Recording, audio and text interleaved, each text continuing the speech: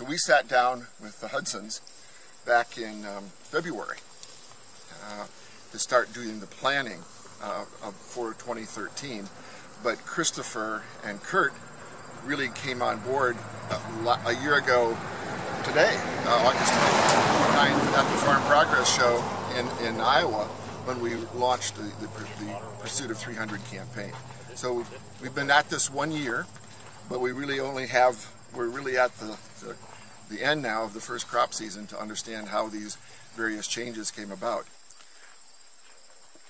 We each provided some some ideas for Christopher and Kurt to think about.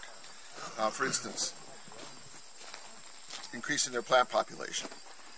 They've um, been doing, they've been raising higher yields than they've been doing it with 20 inch rows, but we increased, we asked them to think about increasing their plant population.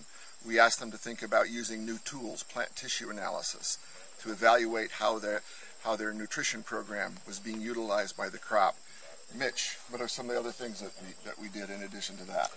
One thing we looked at, I guess a comprehensive approach, not only looking at hybrid selection, uh, fertility, uh, micros, um, foliar feeding, and then course fungicide applications. We kind of took that comprehensive approach and put it into what I felt was a solid package, and we executed that. I think we did a pretty good job looking at our stand counts, our plant health, and uh, we'll find out what the end result is here in about another month. Well, 1st of August, we came out, uh, that's why this alleyway is here, is we uh, went out and dug a soil pit so we could look at the root zone. And that's something that Christopher and Kurt had not taken the time to do, but it was a great way to evaluate the, the health of the root system that's feeding this crop. And we got a good report card. The root system was doing its job. The plant tissue analysis was showing that we've got really good balanced nutrition uh, here. And so all signs point toward a really uh, good crop coming forward.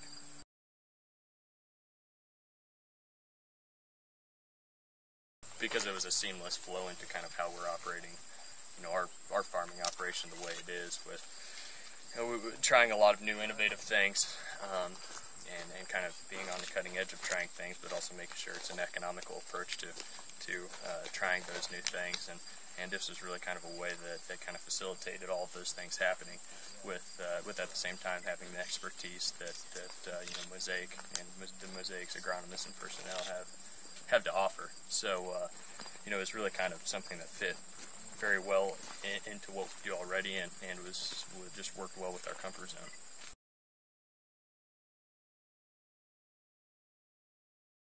I, would had the opportunity, and we all have had opportunities to kind of see soil pits and, and root pits, and you know, I've had other conferences and things of that nature, and those are all always good learning experiences. But it was neat to actually apply it to our farm, and and to ground truth some of the things that we know. Um, you know, we're supposed to be doing right and be managing from compaction to uh, to other uh, aspects of planting. Uh, you know, getting everything closed up properly and and, and establishing a, a healthy root system, and I'm trying to avoid um, things that would be detrimental to growth. And, and so what was neat for us was actually uh, being able to see that on our farm where we hadn't done it to that ability, nor had done it and had the expertise to uh, to have people help analyze it with us or point out things that we wouldn't have otherwise seen or noticed. So um, it, it was just neat applying it to our farm.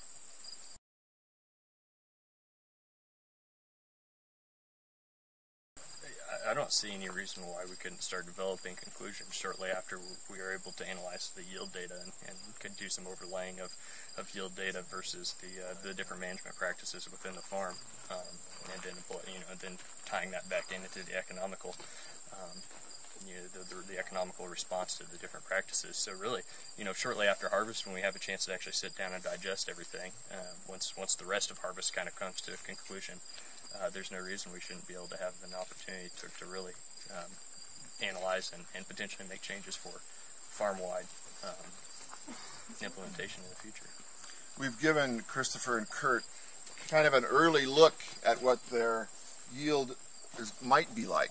Okay, so we used the tool that um, this is just we used took aerial photography uh, uh, near, near infrared and the green and blue wavelengths and analyzed it and this is it came out in the form of what we call a normalized difference vegetation index so the dark green areas in the field are where the biomass is the highest amount of biomass The red areas is less biomass. So translate, this is probably going to be the highest yielding part of the field.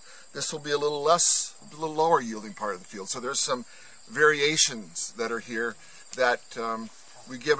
This was taken on July 25th. So we knew on July 25th there's this kind of variation. And the, Chris, we've had an opportunity to talk with Christopher and Kurt about this, and we've identified some questions that you guys will ha- they'll have in their mind as they're harvesting now, and um, be able to look look for some deeper, you know, answer these questions as they're as they are harvesting and watching how the, how the yields actually vary. And I think one of the other things that that we just saw is that what you do to your farm still shows up because this field was once farmed north and south, and you can see those patterns.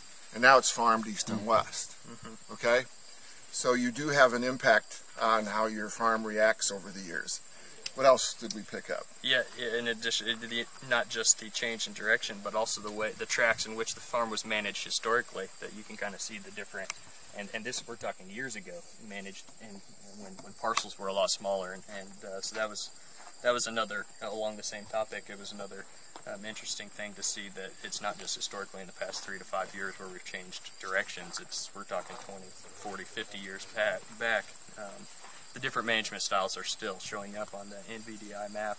Uh, one of the other neat things that that that, that in seeing this NVDI um, to kind of compare it to was our variable rate planting um, population map.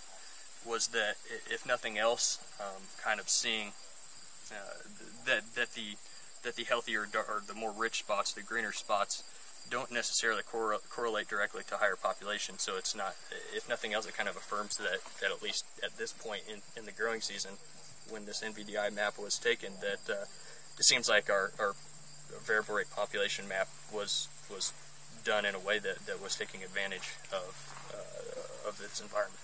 This is the Pursuit Farm. Uh, this is a total of about how many acres? About 170 acres. And so the north half from here north is really the pursuit portion, and the south half are the standard practices that Christopher and Kurt have been using. So they'll be able to compare and contrast the changes that they did on the north portion to their typical practices.